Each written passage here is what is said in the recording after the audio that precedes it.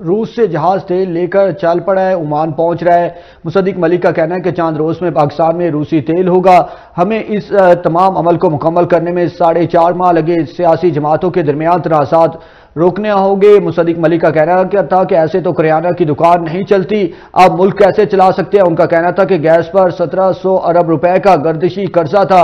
हमने गैस पर गर्दिशी कर्जा सिफर कर दिया। उनका कहना था कि बजट में छोटे कारोबार करने वालों की सहूलतें देने पर गौर कर रहे हैं।